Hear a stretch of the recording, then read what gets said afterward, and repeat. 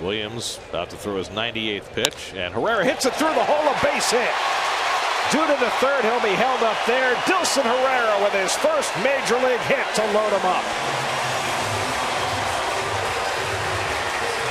He stays in. Congratulations. Big moment. There goes the ball. Ah, everybody's going to play games with him.